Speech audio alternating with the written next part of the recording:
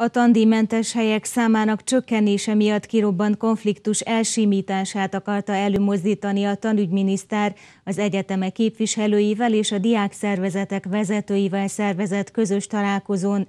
Valentin Popá tanügyminiszter szerint az egyetemeknek nincs okuk tiltakozni.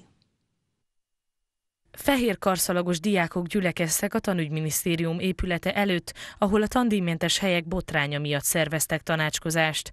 A diák szervezetek ezzel is jelezték, hogy csatlakoztak a nagyobb egyetemek által meghirdetett japán sztrájkhoz.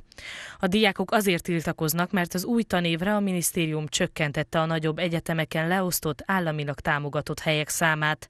A tanügyminiszter a tanácskozás után kitartott a minisztérium álláspontja mellett, és megismételte a lista még nem végleges, ősszel még kiegészítik a helyek számát.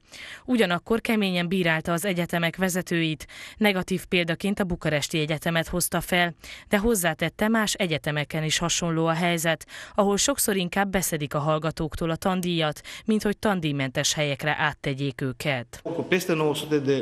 A Bukaresti Egyetemen több mint 900 tandíjmentes helyet nem használnak fel, noha elegendő számú hallgatója lenne az egyetemnek.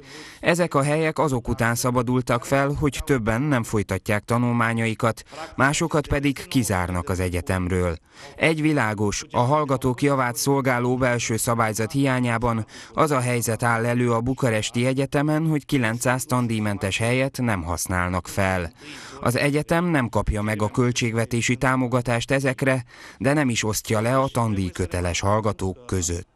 A miniszter által ismertetett számok meglepték a diák szervezetek képviselőit, akik azt nyilatkozták, ha ez valóban így van, az siralmas dolog, és hamarosan álláspontot alakítanak ki ennek kapcsán. A következő tanévtől hasonló helyzet nem fordulhat elő, vélték.